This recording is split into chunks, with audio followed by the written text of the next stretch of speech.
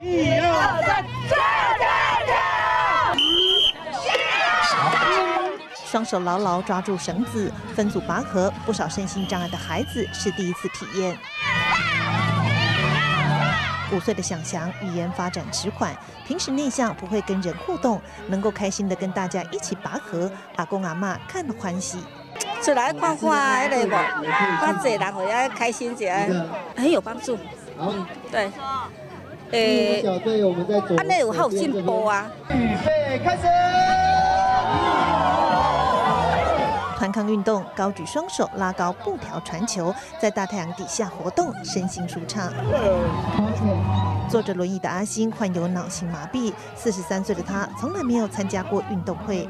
可以参加运动会，我想看你啊。一般的运动会，我们孩子是无法，就是呃一起在运动场上奔跑也好，或是拔河也好，那有实际的带领之下，我们孩子才有机会。他们找到了自信，而且在大哥哥大姐你的身上学到了一个梦，有梦追寻，他们有学习的能力。有爱无爱亲子运动会，志工用心陪伴，让生长孩子多了特别的生命体验。